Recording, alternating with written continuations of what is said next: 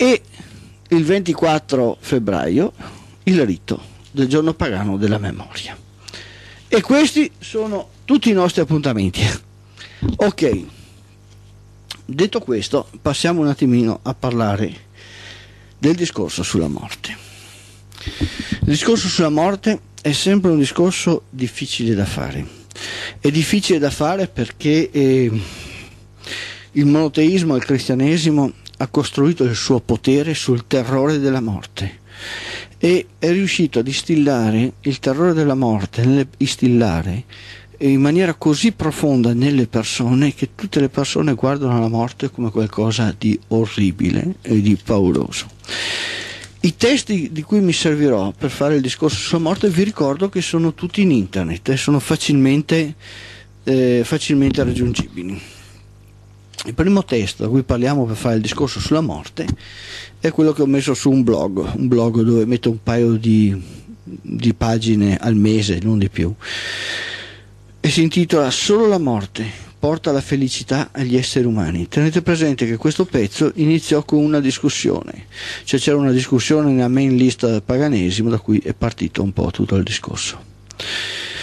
Noi viviamo una società malata, perché in questa società non si dà importanza alla felicità che arreca all'individuo la morte del corpo fisico. In questa società si cerca di nascondere la felicità che arreca la morte per costruire la disperazione della vita. La morte è il trionfo della vita, è la felicità dell'individuo. Non c'è angoscia nella morte. L'angoscia non c'è nell'azione del morire L'angoscia c'è nell'idea educazionalmente imposta che le persone hanno della morte. Solo che l'angoscia che le persone hanno della morte è l'angoscia del loro vivere nella loro quotidianità. Chi vive trafficando in schiavi deve costringere le persone allo schiavismo mediante il terrore della morte, un terrore che alimenta costantemente con la minaccia, il ricatto e il dolore all'interno di una condizione in cui lo schiavo non immagina il benessere psicoemotivo che la morte gli dona, ma immagina un dolore gigantesco come proiezione del dolore che sta vivendo in quel momento. Eppure, nelle esperienze di premorte, NDE, Near Dead Experience, il paziente afferma la luce in fondo ad un tunnel, calore, un senso di pace e di felicità. È il tempo che smette di correre. È il tempo che smette di scorrere. Sono gli ingredienti di tutte le esperienze di premorte raccontate da persone che hanno superato chine estreme come incidenti stradali, arresti cardiaci, stati di coma. Dopo magari eh, tratto dalla Repubblica il 13 aprile 2006, magari dopo vi accenderò l'articolo. Ho fatto una piccola pagina per costringere le persone a riflettere, la pagina dal titolo La morte è felicità umana. Si tratta di un concetto pagano politeista che partendo dall'idea che la vita dell'individuo come il suo corpo sia una sua proprietà inalienabile, considera la morte come il trionfo delle trasformazioni della sua esistenza, la somma delle sue esperienze. Per contro, la morte è fonte di terrore e disperazione per il cristiano, una disperazione che deve imporre ad altri. L'individuo raggiunge la felicità solo nella morte. Qualcuno mi dice, e questo fa parte della discussione, scusa signor Simeoni, allora quando è, co- quando è così uno si compra la pistola e si spara in fronte, così sei finalmente felice. Eh, gli ho risposto, non ti sembra che simili azioni avvengano piuttosto spesso nella società in cui viviamo? Cioè non ti sembra che nella vita quotidiana molte persone preferiscono spararsi ammazzarsi? Molte persone pongono fine ai loro affanni uccidendosi. Uccidendosi, molte persone ritengono di essere più felici di come stanno vivendo. E questo è un dato di fatto. Allora ci si deve chiedere che cos'è la morte? È il trionfo della vita. Nel senso che tu non cercherai mai la morte fin tanto che la vita ti dà qualcosa attraverso il quale arricchire te stesso. Questo qualcosa attraverso il quale arricchire te stesso può cessare a breve per la concomitanza di condizioni di vita atroci o può presentarsi molto avanti con gli anni a mano a mano che la struttura fisica degenera. E questo è il senso della felicità. Se la società in cui viviamo disarma gli individui davanti alle contraddizioni dell'esistenza, spingerà gli individui a cercare la felicità o l'arricchimento di se stessi fuori dalle condizioni di esistenza. Ciò non toglie che la morte deve essere celebrata, eh, ciò non toglie che la morte deve essere celebrata come un momento felice. Solo i trafficanti di schiavi instillano il terrore della morte per dominare le persone. La morte è una porta che si apre. Dove si apre dipende da noi, in ogni caso, sempre sulla felicità. La morte come felicità umana apre un altro discorso apre il discorso sulle forti motivazioni della vita, proprio in antitesi alla morte come felicità. Una società che si propone di fornire ai propri cittadini forti motivazioni alla vita, in contrapposizione ad una società che pretenda di governare i cittadini attraverso il terrore della morte. Quel timore e tremore che caratterizza il cristiano sono abbastanza sottomesso alla morale del Dio padrone affinché il Dio padrone mi garantisca il paradiso o una buona reincarnazione o un buon karma. Invertire l'approccio alla morte permette alle persone di cercare motivazioni diverse per le quali vale la pena di vivere. Davvero pensate che il kamikaze musulmano, perché fa parte dell'attualità, possa avere delle motivazioni di vita superiori al dolore che prova nel vivere la situazione sociale e personale che sta vivendo? Davvero pensate che basta avere la promessa delle 70 vergini per farsi esplodere? E il ragazzo di 18 anni si è ammazzato perché i genitori si sono separati qualche giorno fa? Quale disperazione viveva? Chi cerca la morte in realtà cerca una felicità che non trova nella vita quotidiana e cerca la felicità in una società cioè da una società che non gli fornisce motivazioni sufficienti per allontanare dalla sua testa il desiderio della morte come unico fine, unico luogo in cui trovare la sua felicità. Nella società occidentale la morte viene rimossa come consapevolezza da trasmettere. Ciò che io voglio far comprendere è che la morte è fonte di felicità. Questo può apparire paradossale, ma provate a riflettere. Una società è importante perché gli esseri umani vivono in quella società, producono delle merci, consumano delle merci, accumulano la ricchezza. Solo così una società è ricca. La ricchezza materiale e culturale di una società è fonte di felicità.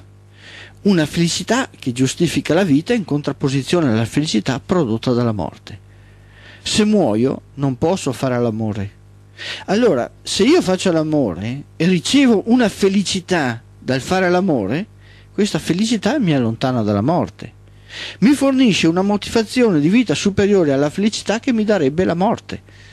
Ma se la Chiesa cattolica costruisce la patologia psichiatrica impedendo alle persone di fare liberamente sesso, nonostante loro ne sentono bisogno di stimoli, lo stato di infelicità che viene imposto all'individuo lo può portare o a delinquere, pertanto condannato a morte, o al suicidio, nella ricerca di una felicità che il vivere non gli fornisce. La morale cattolica militarmente imposta mediante le costrizioni sociali induce le persone a cercare la felicità nel suicidio. Qualunque sistema sociale trema quando gli individui vedono nella morte una fonte di liberazione qualunque sistema sociale è pronto ad usare il proprio piacere di dare, di potere, di dare la morte, ma il piacere della morte arriva per ogni individuo, anche per gli individui che vivendo una sindrome di onnipotenza in questo momento pensano di avere il diritto di decidere la vita e la morte di milioni di persone.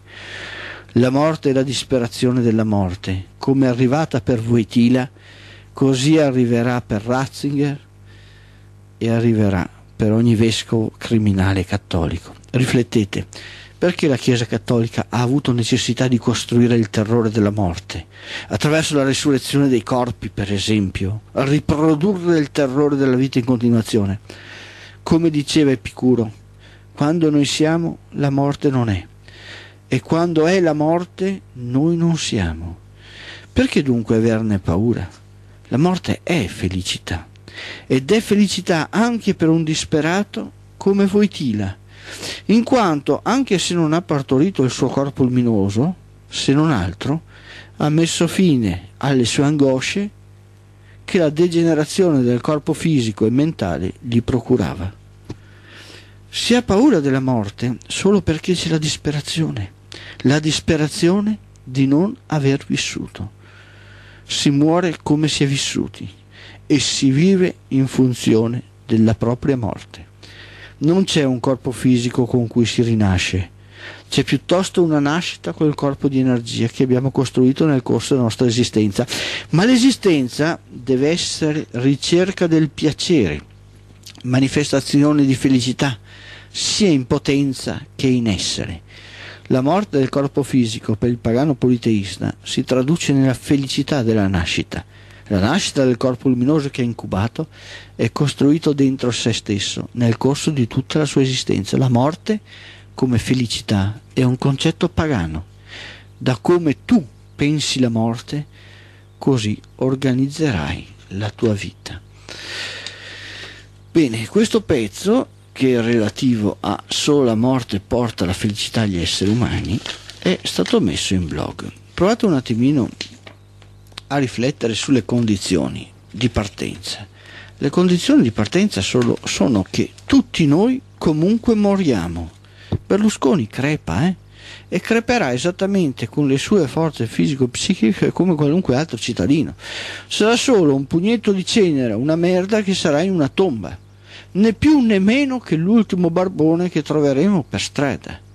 E anche se lui si ritiene onnipotente tanto da rovinare la vita delle persone, comunque farà quella fine. Ma noi non siamo abituati a deridere chi è morto. Cioè non siamo abituati a dire si è comportato da merda nella vita, hai rovinato la vita a milioni di persone e adesso sei solo una merda. Perché questo? Perché chi ha il potere sulla vita delle persone ritiene che si debba essere pietosi nei confronti di chi è morto. Vabbè, ha rovinato la vita delle persone, ha stuprato milioni di persone, ha fatto le guerre, ha buttato bombe, ha fatto intrallazzi, ha fatto il mafioso, ma è morto, abbi comprato, è la miglior persona di questo mondo. No, sei uno stronzo, hai fatto del male alle persone.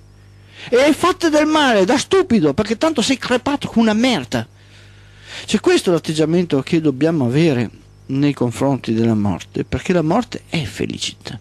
E lo è felicità soltanto per quelle persone che hanno vissuto la morte consapevolmente, hanno vissuto in funzione della morte. Prendete, io per esempio in questo momento ho 55 anni, grosso modo manca qualche mese, a spanne, parlando di vita media delle persone, arriverò circa a 85 anni, circa sempre che non becchi un cancro prima, sempre che non mi si fermi il cuore, sempre che non mi degenerano i reni, sempre che il mio cervello non vada in pappa, non prenda un ictus, sempre che non mi prenda tutte quelle altre cose che nel corso della vita è facile che uno si prenda. Per cui a spanne, grosso modo, diciamo, stante la salute di adesso, arriverò circa sugli 85 anni. Detto questo, da 55 a 65-70 anni ho la possibilità dal punto di vista mentale no, di essere ancora propositivo.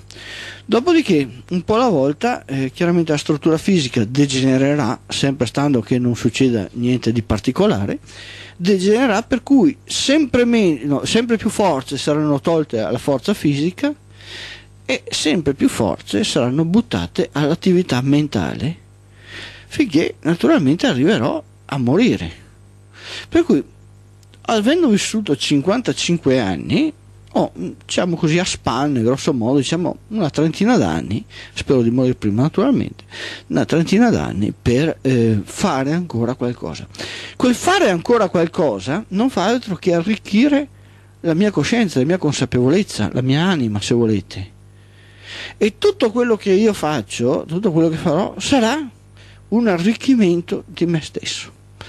Dopodiché creperò ma la morte sarà un piacere, la morte sarà un successo, perché in realtà vivo, del piacere, dell'accumulo della conoscenza, della consapevolezza, al di là poi degli strumenti che userò per farlo, di come lo farò, questo dipenderà da altre cose.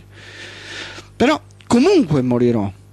Non è che ho alternative di eh, reincarnarmi, di avere un paradiso, di avere un karma, di avere un ritorno alla vita fisica.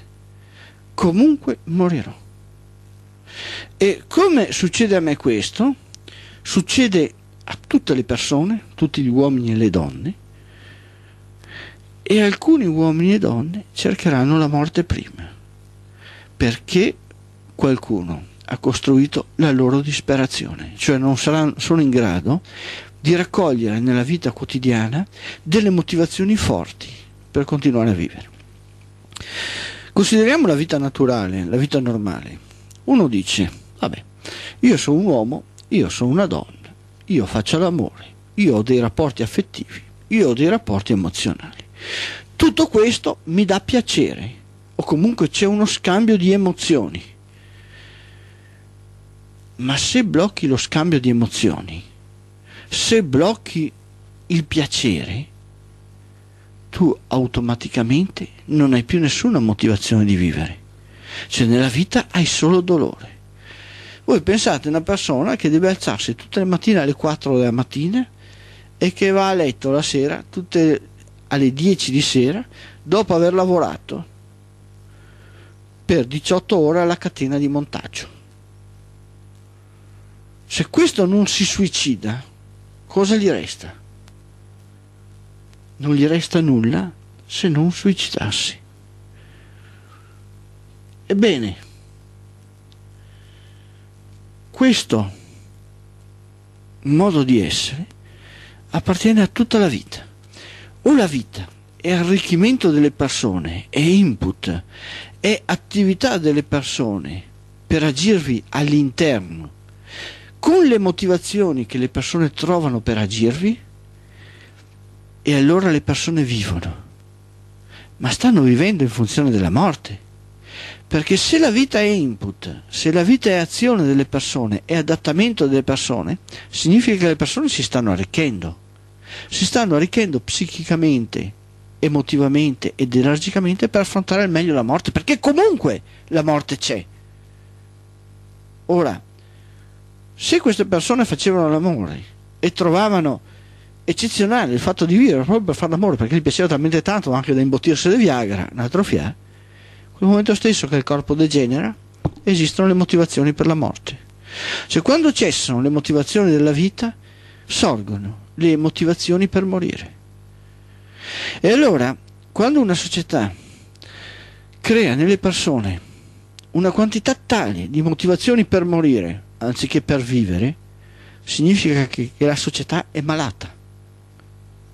Perché la morte deve essere un piacere, non deve essere un'induzione. Ma se la morte è un piacere, significa che la vita deve essere un piacere superiore alla morte, perché altrimenti l'unica cosa che ci resta è la morte. Ma se le persone riescono a vedere la morte come felicità, nessuno le può più dominare. Perché comunque, qualunque carognata mi fai, qualunque merda tu mi butti addosso, io comunque muoio e tu non avrai mai il dominio assoluto su di me. E allora se io ho l'idea che la morte è la mia felicità, affronto la vita con infinita più forza. Passiamo alla felicità umana. La morte è felicità umana e questo lo trovate sul sito. La morte del corpo fisico è l'unico momento in cui si esprime la felicità umana. Tutta la vita dell'individuo è tesa verso la morte del corpo fisico. La morte del corpo fisico è il traguardo che l'individuo deve raggiungere. La morte del corpo fisico è il fine e la giustificazione della nascita di un individuo. La morte del corpo fisico è la felicità dell'individuo. Il dolore della vita, il dolore che la vita ha messo a fondamento delle trasformazioni degli individui. Nella morte del corpo fisico si scioglie e si annulla il trionfo dell'individuo c'è solo il momento della morte del corpo fisico. Il momento della morte dell'individuo è il suo momento di verità. è il momento in cui l'individuo riassume l'intera propria esistenza. La morte è disperazione solo per chi ha vissuto da disperato, al di là di come ha tappato le orecchie alla propria disperazione. Eppure la morte è attesa da molti con terrore, come un momento da allontanare il più possibile, altri la cercano affannosamente per alleviare le proprie angosce. Terrore nei confronti della morte o ricerca spasmodica, due estremi dell'umano fallimento nella ricerca della felicità. Il terrore per la morte o la sua ricerca come estremo rimedio è manifestazione del fallimento dell'esistenza umana. Quando non si pensa alla morte come un momento di felicità, significa che la vita è stata vissuta in modo disperato ed ossessivo. Si spera di avere un'altra occasione, si spera di avere ancora dell'altro tempo, si spera di fare qualcosa che non si è mai fatto prima. La morte è vissuta come disperazione per la fine della morte fisica, la morte è vissuta con terrore per il dolore che implica il morire, la morte è vissuta come ansia e dopo la morte vissuta serenamente da chi obbediente e sottomesso estende la propria obbedienza e la sua sottomissione oltre la soglia della morte stessa. Mai la morte vissuta come un momento di felicità. Eh, mai la morte vissuta come un buon compimento di vita. Eppure la morte è il momento più felice della vita umana, è il suo trionfo. E allora perché le persone temono la morte? Cito da Marco Auger il genio del paganesimo, a proposito del discorso sulla morte come felicità. Dice Marco così, il potere, qualunque sia la sua forza, non può niente contro colui che accetta di morire. Quanto a colui che esercita il potere ed eventualmente il diritto di vita e di morte, egli non può niente contro la propria morte. Anch'essa sfugge al suo potere e lo mette in discussione più di qualsiasi altra cosa morte ed individualità sono legate così intimamente che il potere, per suggerire di non essere puramente individuale, nega simbolicamente la morte di colui che lo esercita. Auger si dimentica il terrore educazionalmente imposto nei confronti della morte, che può giocare sull'imprinting di specie che spinge l'individuo a diventare dei consumatori della società prima che la morte ponga fine alle loro trasformazioni. Non le persone temono la morte, ma i padroni delle persone temono che le persone vivano la morte come un momento felice, come dicono gli inni orfici, come un buon compimento di vita. Si nasce soli e si muore soli. E come diceva Quasimodo, ognuno è solo sul cuore della terra, trafitto da un raggio di sole ed è subito sera. Questo pathos che le poche righe trasmettono è il terrore degli individui che gestiscono il potere di possesso delle persone. Per loro è già sera e vivono l'angoscia di perdere ciò che li rendeva onnipotenti. La nascita viene celebrata come il trionfo della madre, la madre come padrona del nuovo nato. La morte appartiene solo al nuovo nato, come il corpo dovrebbe appartenere solo al nuovo nato. La morte scioglie i legamenti che l'essere natura ha imposto all'individuo. La morte scioglie i legamenti che la società impone sull'individuo. La morte libera dalle costrizioni. La morte è l'unico trionfo individuale della persona. La morte appartiene solo alla persona, come il corpo appartiene solo alla persona. Siate felici nel morire. Nessuna catena e nessun obbligo vi lega oltre la morte del corpo fisico. La morte si affronta per come si è vissuto, con impegno e passione. I pagani politeisti fanno della morte la signora della loro esistenza, una signora da affrontare con la stessa passione con la quale si è vissuti. La morte è l'unica vera e completa felicità dell'esistenza umana, in cui tutto è effimero nelle trasformazioni, nel mutamento, nella tensione, nel bisogno e nella soddisfazione del medesimo. Tutta la vita umana è ricerca di libertà, Solo la morte è la verità in cui quella libertà si risolve. E tutti quelli che hanno paura della morte? Beh, succede a molti pagani, a molti atei, a molte persone di eh, vivere il momento della morte come un momento di paura.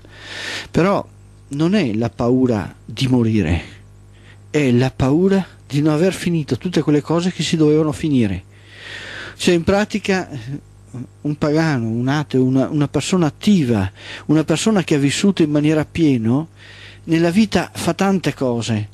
Io ho visto morire una, uno dei più grandi pedagoghi italiani che diceva guarda io ho un corpo che ormai fa schifo ormai sono tutto rovinato ma io ho un sacco di cose da fare io avrei in progetto una commedia avrei in progetto da fare tutta una serie di cose bene la sua paura della morte non era la paura della morte era il fatto, il rimpianto di lasciare delle cose incompiute, di lasciare là delle cose che lui ancora voleva fare.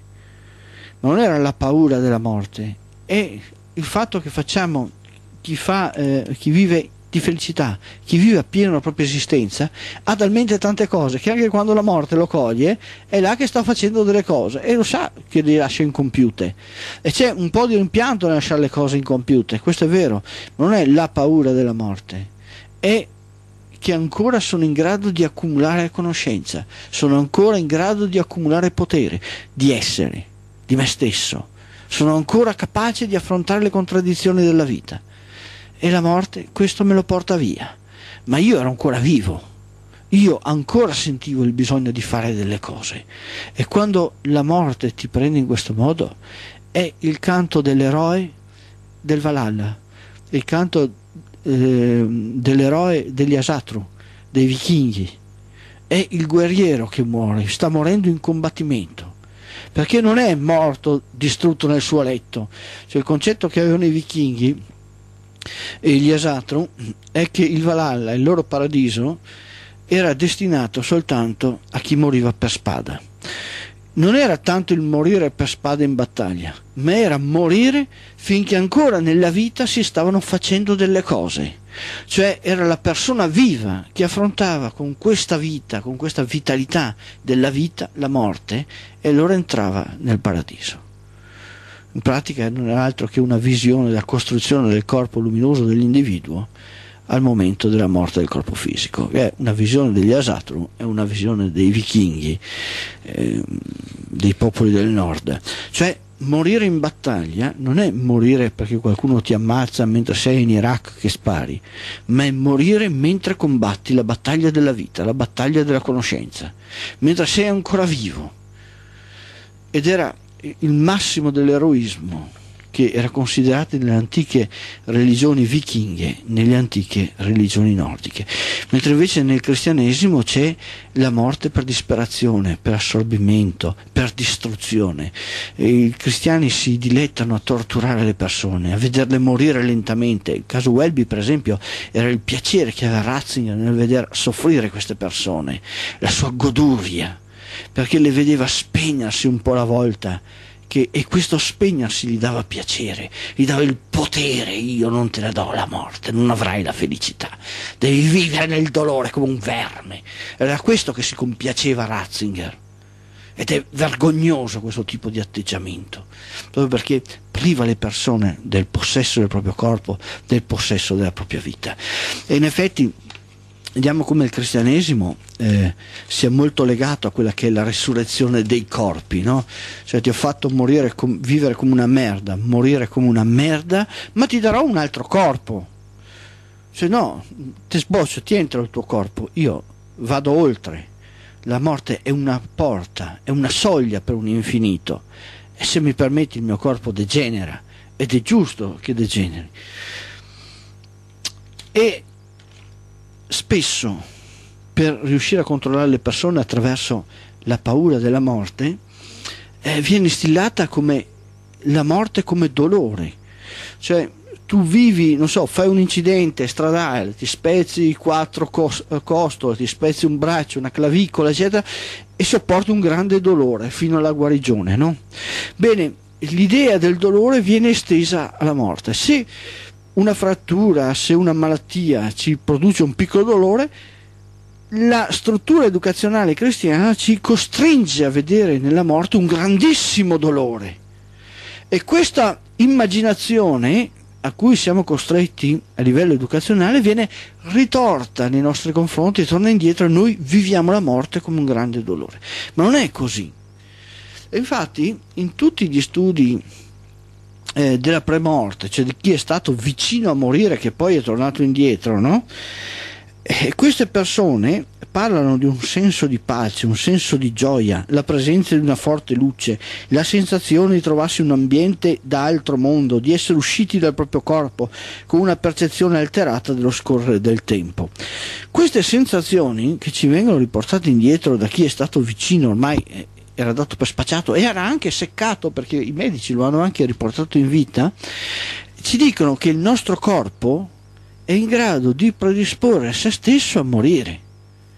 Cioè è talmente importante l'atto del morire che il nostro corpo ha già eh, sistemato tutti quei meccanismi che ci permettono di affrontare la morte senza il dolore. Cioè la morte non è dolore. Noi abbiamo tutta una serie di rilascio di sostanze che vanno a ehm, a bloccare il cervello, a bloccare i neuroni del dolore, a, per cui la morte è effettivamente assolutamente indolore. Semmai è doloroso prima, semmai è doloroso come arrivi verso la morte, ma non il passaggio fra la vita e la morte. La vita, il passaggio fra la vita e la morte non è doloroso. E la scienza lo sta eh, studiando proprio per riuscire a risolvere queste condizioni dell'NDE, no? cioè delle esperienze di premorte di chi è tornato e si è accorta che in realtà eh, non è dolore, ma c'erano già altre storie ancora prima che arrivavano. C'erano delle storie di io sono stato aggredito da un orso grizzly oppure da un leone che è riuscito a darmi un po' di zampate, mi credevo morto, prima che il mio amico gli ha sparato, lo ha fatto fuori, mi ha sventrato, ma non sentivo dolore. Dopo ho sentito il dolore, ma non quando mi stava eh, sventrando.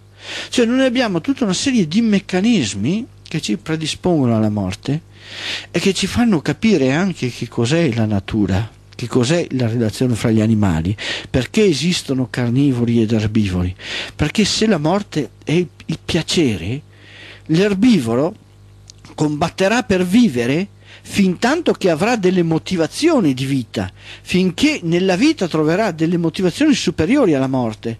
Ma quando si troverà davanti alla morte, davanti al carnivoro che lo mangia, significa prima di tutto che non ha motivazioni forti alla vita, perché eh, è stato sconfitto, e secondo metterà in atto tutte quelle strategie di rilascio di sostanze per cui arriverà alla morte tranquillamente, cioè non, non come dolore, non come orrore l'orrore della morte c'è essenzialmente nello spettatore, no? ti faccio vedere l'altro come muore, magari te lo torturo anche un po' prima, ma questa è violenza, questo è il crimine della società. E tenete presente che il rapporto morte e angoscia era già stato affrontato da Freud. E Freud nel suo trattato L'io e l'Es del 1922 parlando dell'io e del superiore dell'essa, della morte, dice la frase altisonante ogni angoscia è propriamente angoscia di morte è scarsamente significativa e non è comunque legittimabile. Mi sembra piuttosto senz'altro esatto asserire che l'angoscia di morte va distinta dall'angoscia per l'oggetto, angoscia reale, e dall'angoscia nevrotica della libido. Essa pone alla psicoanalisi un difficile problema, poiché la morte è un concetto astratto con un contenuto negativo per il quale non si può trovare un elemento inconscio corrispondente. L'unico meccanismo ipotizzabile per l'angoscia di morte è che l'io abbandoni in larga misura il suo investimento libico narcisistico, ossia rinuncia a se stesso, così come rinuncia a un altro oggetto negli altri casi di angoscia. A mio parere, dice Freud, l'angoscia di morte è qualcosa che si svolge fra l'io e il superio. Conosciamo la comparsa dell'angoscia di morte in due situazioni, che del resto sono del tutto analoghe a quelle in cui abitualmente si sviluppa l'angoscia. Come come reazione a un pericolo esterno e come processo interiore, per esempio nella melanconia. Ancora una volta il caso nevrotico può aiutarci a comprendere quello normale. L'angoscia di morte nella melanconia ammette soltanto la seguente spiegazione. L'io rinuncia a se stesso, giacché invece che amato si sente odiato e perseguitato dal superio. Vivere è dunque per l'io equivalente ad essere amato a essere amato dal superio, che anche qui compare in veste di rappresentante dell'essa. Il superio svolge la stessa funzione protettiva e salvatrice che anticamente ha svolto il padre in seguito alla provvidenza o il destino. Tuttavia l'io è costretto a giungere alla stessa conclusione quando si trova in un pericolo reale di enormi proporzioni che non ritiene di poter superare con i propri mezzi. Si rende conto di essere stato abbandonato da ogni forza protettiva e si lascia morire. Infatti cosa dice Freud? Dice che lui usa eh, il termine io e superio come io uso il termine eh, superio ed io psichistico. Però dice se la tua ragione, se la tua coscienza non si sente più amata perché non è più in grado di costruire delle strategie di piacere nella vita, chiaramente si sente abbandonata e solo in quel momento accetta di morire o sceglie di morire ma finché tu avrai dei piaceri nella vita, la tua coscienza, il tuo io, non sceglierà di morire, sceglierà di vivere. E finché avrà strumenti per organizzare la sua vita nella sua quotidianità, il tuo io continuerà a lottare, continuerà a esistere, continuerà ad arricchirsi all'interno delle contraddizioni della vita. E questo eh, è una cosa che vi avevo già accennata proprio parlando di Epicuro. Cioè, Epicuro nella sua lettera a Meneceo, parlando della paura della morte, lui dice renditi abituale il pensiero che la morte per noi non è nulla, giacché ogni bene e male è nel senso, cioè nei sensi, e la morte è privazione dei sensi. La retta conoscenza che la morte per noi non è nulla mette quindi in condizioni di godere della mortalità della vita, come quella che non aggiunge un tempo infinito, ma toglie la brama dell'immortalità. Nulla vi è infatti di cui possa temere nel vivere, chi ha veracemente compreso che nulla vi è di cui possa temere nel non vivere. E però parla a vuoto chi dice di temere la morte non perché la sua anima avrà a soffrirne quando sarà venuta, ma perché ne soffre ora il pensiero che un giorno essa verrà. Ciò che infatti non dà molestia, presente, senza ragione, rattrista mentre atteso. Cioè se la morte non ti dà fastidio adesso, perché devi rattristarsi nel pensiero che un giorno morirai? Abbi un pensiero felice.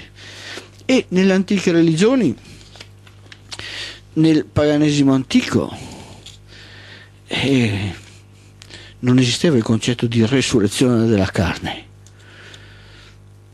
Anzi, era considerato come empio, come cattivo, come male. Proviamo un attimino a leggersi. Vi leggerò un altro pezzo, visto che ho ancora qualche minuto prima di dar via alle telefonate. Ed è resuscitare i morti nelle antiche religioni pagane politeiste. Vi ricordo che tutti questi pezzi che vi ho letto li trovate tutti in internet al sito www.federazionepagana.it. Torno a ripetere www.federazionepagana.it. Tutto minuscolo e tutto attaccato. Resuscitare i morti nelle antiche religioni pagane politeiste. La biblioteca è un testo di mitologia molto tardo che ha il pregio di raccogliere quanto era rimasto e spesso cita episodi mitologici locali. Quando si analizzano gli dei e quanto emerge dal loro comportamento, è necessario tenere presente che l'insieme culturale sta cambiando. Stiamo andando verso il monoteismo. Il monoteismo è preceduto dalla critica filosofica che già aveva modificato il significato del mito.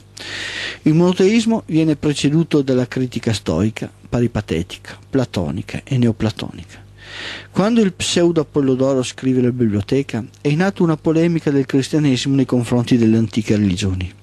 Se il cristianesimo tingerà a piene mani dallo stoicismo, dal neoplatonismo e in epoche successive dal platonismo d'Aristotele, la religione greca, romana, egiziana, eccetera, vengono bollate come demoniache o ridicolizzate al fine di far emergere la superiorità del cristianesimo. Eppure gli dei sono, nonostante i filosofi, capaci di raccontarci qualche cosa di importante anche e soprattutto per capire la religione pagana politeista di oggi, come in questo brano relativo ad Asclepio, Apollo, Apollo e Zeus, su cui oggi mi soffermerò per alcune riflessioni. Nella biblioteca di Pseudo Apollodoro si legge Asclepio, diventò abile e perfezionò la sua arte al punto che non solo riusciva a salvare i malati, ma risuscitava anche i morti. Da Atena infatti aveva ricevuto il sangue che era sgorgato dalle vene della Gorgone e lui usava quello delle vene di sinistra per far morire gli uomini e quello delle vene di destra per salvarli e in questo modo poteva anche far risuscitare i morti. Fra coloro che si dice siano stati risuscitati da lui vi sono Capaneo e Licurgo, come afferma Stesicoro nel Erifile. Ippolito, come dice l'autore di Naupactica Tindaro, come riferisce Pagnassi, Imeneo, secondo gli Orfici, Glauco, figlio di Minosse, come narra Melesagora. Ma Zeus, temendo che imparasse da lui l'arte di curarsi e di soccorrere, eh, temendo, temendo che imparassero, che gli uomini imparassero da lui l'arte di curarsi e di soccorrersi tra di loro, lo fulminò. Allora Apollo, addirato, uccide i ciclopi che avevano forgiato il fulmine per Zeus. Zeus stava per scagliare Apollo nel Tartaro, ma cedette alle suppliche di Latona e gli impose di porsi al servizio di un uomo mortale per un anno intero. Apollo andò a Fere, presso Admeto, figlio di Fere, e pascolava il bestiame al suo servizio. Fece sì che tutte le vacche partorissero due vitelli per volta. Biblioteca 3, 120-123 preso dalla biblioteca di Apollodoro, edizione Lorenzo Valla, cura di Paolo Scarpi. Questi aspetti dell'antica religione greca hanno colpito molto gli estensori dei Vangeli e hanno influenzato nell'elaborazione della figura del loro Gesù. Solo che i cristiani hanno assunto la forma che meraviglia la popolazione meno acculturata, quella che non conosceva il senso del mito un senso del mito che si stava perdendo per essere ridotto a pura favolistica. Per riuscire a comprendere il senso del mito è stato necessario passare attraverso l'orrore dell'assolutismo cristiano e uscirne mediante un lungo processo sociale, con lo sviluppo della scienza e della filosofia della libertà, quali prodotti del bisogno della vita degli esseri umani. Così la miseria dottrinale del cristianesimo che riduceva tutto al solo aspetto fisico poté essere superata. Per il cristianesimo il loro profeta è la parola, il verbo, l'aspetto più misero e più equivocabile della comunicazione umana. Il Dio dei cristiani crea la forma dell'uomo con il fango, il Dio dei cristiani ha bisogno di controllare i corpi, la sessualità degli esseri umani. Gesù stesso promette, promette la vita fisica eterna e la rinascita dei corpi. Il cristianesimo è quanto di più materialistico e meccanicistico esista nella vita dell'uomo. La resurrezione di Lazzaro è vista come una grande opera di Gesù contro la morte. La resurrezione di Gesù è sempre stata interpretata dai cristiani come la vittoria di Gesù sulla morte, la morte per i cristiani cristiani è estranea alla vita. Questo in contrapposizione all'idea pagana politeista delle antiche religioni, per cui l'essenza e il significato della vita è la morte del corpo fisico. È la morte del corpo fisico che dà il senso alla vita. Mentre il cristianesimo, sia con Gesù che con Paolo di Tarso, promette la vita eterna e la resurrezione dei corpi ad imitazione della resurrezione di Gesù, Zeus colpisce Asclepio per la sua attività. Il concetto mitico è molto più antico delle motivazioni della sua azione che Apollodoro attribuisce a Zeus. Con quale motivazione Zeus colpisce Asclepio? Ma Zeus, temendo che imparassero da lui l'arte di curarsi e si soccorressero fra di loro, lo fulminò. E questo dopo che Apollodoro ha indicato che cosa ne faceva Asclepio del sangue della Gorgone che aveva ricevuto da Atena. Lui usava quello delle vene di sinistra per far morire gli uomini e quello delle vene di destra per salvarli. In questo quadro l'arte di Asclepio ci appare come l'esercizio di un potere di determinare la vita al di fuori delle sue regole. Lui fa morire chi vuole, lui guarisce chi vuole e chi vuole fa risuscitare. Questa visione del Dio al di fuori delle regole è una visione molto tarda è quasi contemporanea al cristianesimo ed è in questa scia che viene scritta la figura di Gesù, un individuo fuori da qualsiasi regola, il padrone del sabato, il torturatore degli uomini. Zeus fulmina Asclepio perché Asclepio viola le regole della vita, viola le regole del fato. Asclepio costruisce il terrore per la morte del corpo fisico e anziché stimolare gli individui affinché affrontino al meglio la loro vita per affrontare al meglio la morte del corpo fisico, li riporta nel corpo fisico, nel già conosciuto, Asclepio viene fulminato perché si fa provvidenza e guarda caso è la stessa cosa che fa Gesù, il pazzo di Nazareth. Non attrezza le persone per affrontare la loro esistenza, ma promette loro la resurrezione della carne a patto che loro distruggano se stessi con la fede in lui.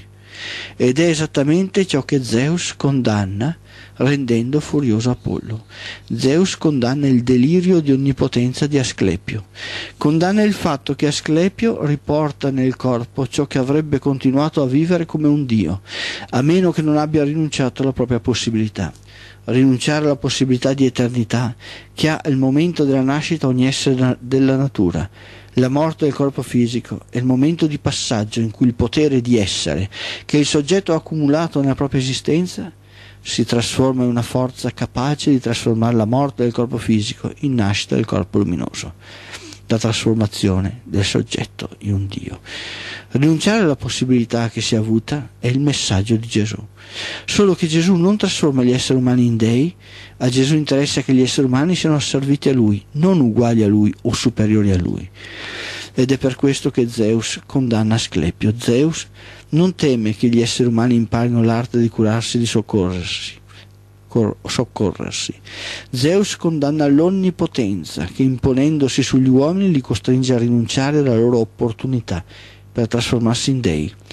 Apollo non è un dio della metamorfosi. Apollo è il principio maschile della vita. Non è un dio che attraversa delle trasformazioni morendo e rinascendo. Apollo è il principio maschile della vita, il perturbatore della vita. Non è Dioniso che si trasforma in un dio morte dopo morte, non è Adone e non è Persefone, non c'è trasformazione in Apollo, solo il potere dell'espansione e il potere di trasformare la vita, il principio femminile. Ed è colpendo il potere dell'espansione di Apollo che Zeus ne umilia l'attività mettendolo a servizio di un mortale. Circoscrive il suo potere all'interno degli ordini di un mortale che ha bisogni. Scusate un attimo, ma è mortale. Circoscrive il suo potere all'interno degli ordini di un mortale che ha bisogni solo mortali. Nel testo del pseudo Apollodoro sembra quasi che Apollo sembra quasi che Apollo faccia un regalo ad Admeto, agendo affinché ogni vacca partorissa due gemelli. Scusate un attimo, per piacere, perché finisco, grazie. Mm, Siamo quasi a voler fare un regalo ad Admeto affinché ogni vacca partorisce due gemelli. In realtà non fa altro che manifestare ciò che lui è nell'espansione culturale che qualifica la potenza di ciò che egli è, il principio maschile della vita. E come principio maschile della vita si esprime anche nelle vacche che porta il pascolo, partoriscono due gemelli ogni volta, moltiplica il patrimonio del mortale per cui lavora. Apollo non è solo il pastore delle vacche, si esprime anche nel toro che le monta. Quando la biblioteca del pseudo Apollodoro fu scritta, si era perso il ricordo teologico degli dei, la loro rappresentazione reale, era rimasto il racconto, ma non il significato teologico. Così la morte del corpo fisico viene detronizzata dal suo ruolo centrale, dal suo significato religioso e sostituita col bisogno di immortalità fisico ingenerata dal monoteismo. Nelle motivazioni che il pseudo Apollodoro attribuisce a Zeus c'è un eco delle paure del Dio dei cristiani. Ecco, dice il Dio dei cristiani, l'uomo è diventato come uno di noi, un Dio. Avendo la conoscenza del bene e del male, facciamo sì che non colga dall'albero della vita per vivere in eterno. Tolta la centralità della morte del corpo fisico nelle antiche religioni, si toglie anche come si vive. Si tolgono le strategie di esistenza attraverso le quali affrontare la morte del corpo fisico. Allora rimane solo la disperazione davanti all'imminente morte e questa disperazione si trasforma nell'illusione di una provvidenza che operata dal Gesù di Nazareth o da Asclepio riporti l'individuo nel corpo fisico concedendogli una seconda possibilità. Zeus fulmina Asclepio perché crea l'illusione di una seconda possibilità che nessuno avrà mai. E questo vi ricordo che è un altro pezzo che trovate su federazionepagana.it e si intitola Resuscitare i morti nelle antiche religioni pagane e politeiste ed è il concetto della morte come idea di piacere e non come idea distruttiva. E ricordatevi sempre, se non riuscire, se non riuscite a vedere la morte come senso del piacere, riuscire, difficilmente riuscite ad affrontare la vita come piacere di tutto ciò che nella vita si esprime. Perché questo è importante eh, che noi eh, dobbiamo sottolineare. Cioè la vita è piacere, la vita deve essere un piacere. Qualcuno direbbe la vita ha un significato. No, il significato della vita è il piacere, è la ricerca di tutte quelle condizioni che all'interno della vita ci arricchiscono per divenire in continuazione e ci arricchiscono la nostra psiche, la nostra eh, quantità di esperienza, la nostra, eh, chiamiamola anima se volete, ma è il corpo luminoso che plasmiamo in tutte queste condizioni che sistematicamente affrontiamo. Ebbene, queste condizioni che affrontiamo, anche se sono condizioni dure, devono essere sempre condizioni di piacere, condizioni di afferrare il bello, afferrare le cose che ci danno piacere, perché quando le cose non ci danno piacere c'è la disperazione che porta alla morte. Ma la, quando la disperazione porta alla morte, significa che la morte stessa è vista come risoluzione di una disperazione e disperazione a sua volta. Ma se noi riusciamo a vedere la morte come il momento di piacere, l'essenza stessa della vita, la vita esiste solo perché esiste la morte, solo perché esiste la fine della vita stessa e si riproduce in continuazione attraverso nuovi esseri, allora riusciamo a comprendere come che se noi moriamo non è che finisce il mondo, non c'è la fine del mondo, ma c'è qualcuno che va avanti. E allora distinguiamo le due cose, le cose che facciamo nella nostra vita quotidiana, le cose che facciamo nella società, le cose che facciamo per eh, costruire la nostra esistenza e le cose che facciamo per l'esistenza degli altri, dove a noi ci resta solo la parte psichica, ciò che costruiamo per i nostri figli, fra virgolette, che sarebbe ciò che noi costruiamo per la società, ciò che noi facciamo di propositivo per il sistema sociale in cui viviamo, che è cosa diversa da ciò che noi ci arricchiamo e che ce lo portiamo con noi. Perché ciò che è il nostro arricchimento psichico, ciò che è il nostro arricchimento emotivo, noi lo portiamo oltre la soglia del corpo fisico. Ma se noi vediamo la morte come un momento di piacere, vediamo anche nella vita tutto ciò che ci dà piacere e vediamo nella vita la necessità di costruire condizioni che danno il piacere della vita. E allora non c'è più il dominio mediante il terrore, perché chi non ha paura della morte non può essere dominato non può essere trasformato in oggetto. Chi nella morte trova il piacere non può essere dominato. Ricordatevi, il dominio avviene solo nel terrore, ma ci sono vari gradi di terrore. Ce n'è uno talmente intimo, talmente profondo, che le persone hanno paura di affrontarlo. 049 700 700 049 700 838 e vi parlerò intanto degli appuntamenti che ci saranno. Pronto? Sì. Ciao. Ciao, ciao. Attento, per quello anche perché eh, diciamo di fronte a morte, diciamo verso la fine della vita, quando uno si è maiano, che c'è la disperazione. Con 15 minuti. Claudio? Eh, godo un problema qua in radio, in regia. Dimmi dai, va avanti. Sì, disper la disperazione classica, insomma, di fronte a, a, a, morte imminente, magari perché se uno si malaga, una malattia, naturalmente, mh, mm, perché non si è, diciamo, non si affrontare, naturalmente è difficile affrontare, diciamo, la morte come una non, una non cosa negativa, una non negatività ma una cosa diciamo, che continua, no? continua una cosa positiva. Sì, ma anche, anche, se non continua, quando arrivi al momento della morte, significa che è esaurito il tuo tempo. Esatto. Per cui è soltanto un'attesa inutile. E dopo voglio dirti un'altra cosa, no? adesso l'accumulo delle cose, per esempio, è come un allungare, un volere allungare la vita. Cioè, per esempio in via dell'Esere, eh. prendo libri, compro libri, inconsciamente o consciamente, consciamente più che tutto, perché io so, mi rendo mm. conto che eh, compro libri e so che non, le, non finirò mai di leggerli, che devo dire, certo. prima... e, e rischia, eh, rischia, di rimanere a rimpianto, però finché tu hai il piacere esatto. di leggere, esatto. nessuno, cioè tu non avrai mai il desiderio di morire, no? Cioè, esatto. Cioè, perché il piacere della morte... Eh, scusate un attimo, sono disturbato, se può uscire mi fa un favore, grazie. Eh, un disturbo purtroppo... La che ha pagato la radio, eh, la, okay. prima, la prima che ha pagato... Va bene signora, va bene. La sorella di Franco Carraro posso sì. fare queste cose. Ma sì, no, no, no. Devo dirle una cosa, il che non interessa. Mm. Stronzi, sono stronzi tutti i primi. Eh, ho dei problemi particolari, sì. dovuto alla moglie di Franco Carraro, non vorrei che fosse successo qualcosa e non, non, non ci ho capito niente, purtroppo vabbè eh, ho fatto qualcosa che non so, mm, non capisco, è venuta questa persona che io non la conosco. Eh, e purtroppo mi è venuto in regia e io qua da solo non sono riuscito a, a capire cosa è successo o cosa volesse. So, non vorrei che fosse successo qualcosa a Franco Carraro perché... Non so, mm, scusami Deva, non metto giù.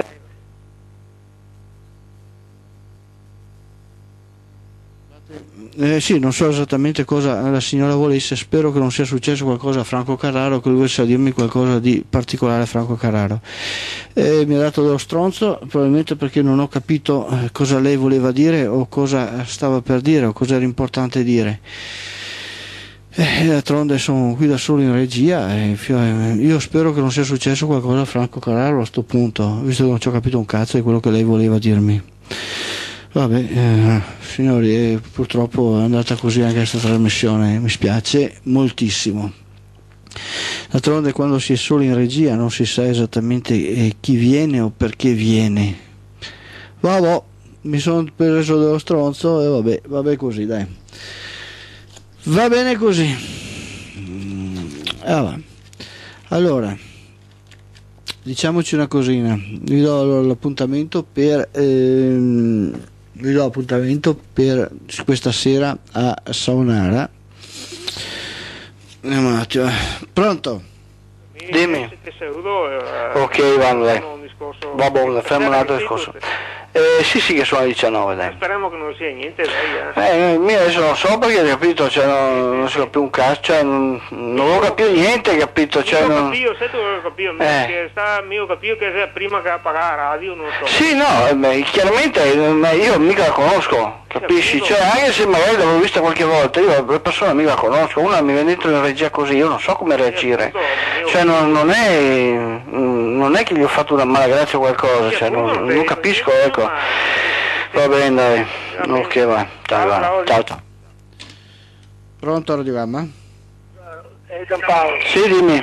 E io ho solo da farti dei complimenti vivissimi perché mai mi è piaciuta una trasmissione come sì. oggi, perché sei stato di un realismo unico. Io mi permetto di dire questo, eh, sai, sono fuori di testa per carità, però per me hai toccato indipendentemente dalla mitologia, proprio hai detto delle okay. cose che tocchi con mano. Va bene, Ti ringrazio. Ciao, ciao. ciao. ciao.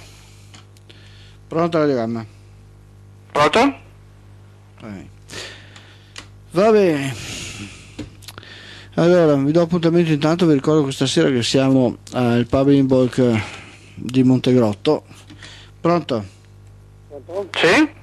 Scusa, stavo ascoltando la radio e ho sentito che è intervenuta una signora dicendo di Franco Carraro. Sì, no, mi è arrivata una persona in regia ma non so esattamente cosa voleva. No, potresti, potresti, chiedere a questa signora... È andata via arrabbiata mandandomi a quel paese e non... Eh, non so esattamente. No, anche per tranquillizzare tutti i radioascoltatori. Non so, a questo punto non, vabbè, non, non so cosa dire, capisci? Cioè, eh, io sono qui in diretta, sono da solo, effettivamente io sto oltretutto oggi, fatalità non ho Francesco, per cui non abbiamo neanche potuto parlarci. Ti capisco perfettamente. Eh, vabbè, mm, comunque mm, spero che qualche eh, speaker mi faccia sapere qualcosa, insomma. No, perché siccome ho sentito parlare di Carraro. Sì, no, questa persona qua ha detto che di essere la sorella di Franco Carraro, per venire eh, detto... Se, se puoi chiedere se la... Eh no, è andata via, è andata via arrabbiata, per cui eh, andando, venendo con questa furia che è venuta, capisci? Eh, chiaramente probabilmente aveva qualcosa di importante da dire. Eh, Ma se era importante rimaneva, no? Ma penso, non so, mi ha mandato a quel paese, probabilmente si è sentito offesa dal mio atteggiamento, non so. eh. No, a questo punto speriamo che non sia successo niente. No, adesso, adesso effettivamente sono abbattuto, sono preoccupato, insomma, è tutto là, Ma- insomma. magari se abbiamo notizie... Va bene, non so, non so cosa dire, purtroppo og- oggi fatalità, oggi sono da solo e naturalmente il cambio non è ancora arrivato. No, ma la cosa cui- è possibile perché solo lo puoi fare regia, parlare e No, eh, oltretutto stavo anche leggendo un testo, per cui non è che avessi possibilità di metterci, io non faccio musica, capisci? E stavo, ero concentrato su un testo, per sì. cui... mm, No, Oltretutto doveva già arrivare il cambio, non ho ancora il cambio che è arrivato, per cui non ho neanche il compagno di trasmissione e mi trovavo in questa situazione. Sì, ma la situazione è comprensibilissima. Solo che è stato il, cognome che ha fatto un po' sussultare. No, è, mm, mm, è quello che ha detto andando via arrabbiata che mi ha preoccupato. eh. Va bene. Eh, ok. Buon, buon fine rientro, buona traduzione. Bene, eh, ci sentiamo questa sera alle 19, speriamo che non ci sia bene, ok. niente. Ciao, Ciao, ciao. ciao. Eh, purtroppo adesso ormai queste sono le condizioni che si sono verificate. D'altronde eh, siamo una piccola radio, una piccola radio che ha i mezzi che ha e trasmettiamo come possiamo. Vabbè, allora, vi ricordo che questa sera alle ore 19, eh, alle ore 21, diciamo così, siamo a Montegrotto e vi do appuntamento naturalmente a Saonara col dibattito con Laura Rangoni. E, mm, Laura Rangoni che terrà eh, una conferenza presso le scuole medie di Villa Torre di Saonara a Padova in via Don Milani. Pronto? Eh, parlo con Gamma 5. Sì? Eh, senta, eh, mi chiede la linea lì, ehm, qua abiti Santo Antonino. Eh, ma non mi occupo io di queste cose, devi no. trovare il suo speaker che si occupa. Ah, no, per me Ok. trasmettergli, non so, che quello della linea da dargli, non so. Eh, non, non so neanche di cosa stia parlando effettivamente. Ah, Ok, vabbè. ciao. Ciao, Pronto?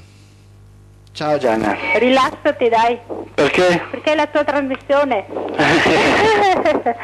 è una trasmissione importante.